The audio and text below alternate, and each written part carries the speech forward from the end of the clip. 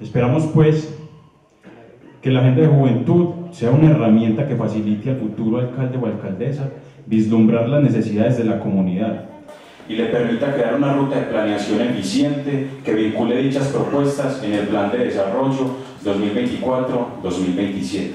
La Agenda Ciudadana para los Gobiernos Participativos se socializó el pasado martes 18 de julio en la Casa de la Cultura Hernán Vázquez Duque, donde estuvieron los aspirantes a la alcaldía de Urrao, quienes socializaron sus planes de gobierno y conocieron de primera mano las propuestas y peticiones de los colectivos de jóvenes que la crearon. Una agenda que llevamos alrededor de tres, cuatro meses creando, es en pro de todas las necesidades que vemos nosotros los jóvenes, eh, absolutamente de todo el territorio para poder fortalecernos y que el próximo gobierno que llegue el primero de enero de 2024 se pueda apoderar de él. Escuchar los planes de gobierno.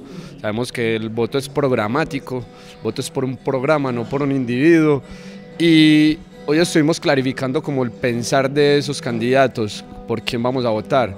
Y el otro es involucrar dentro de los planes de gobierno las iniciativas que tuvieron en cuenta los jóvenes o priorizaron dentro de su plan de acción. En la construcción de esta agenda quedaron plasmados los ideales de los grupos de jóvenes como los Artistas del Sol, la Plataforma Juvenil de Urrao, el CMJ, la Mesa Diversa, el Grupo Scout 30 Penderisco y el Movimiento Independiente de Jóvenes del Suroeste. Además, al final se presentó un pacto por las juventudes donde los postulados a ser candidatos por la alcaldía firmaron voluntariamente.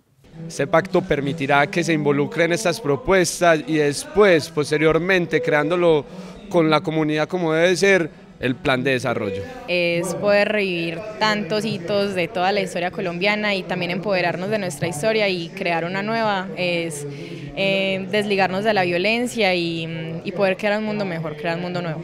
Este foro demuestra la participación política de los jóvenes que cada vez se preocupan más por estar incluidos en la toma de decisiones y de las personas que pueden llegar a manejar los recursos públicos de la localidad.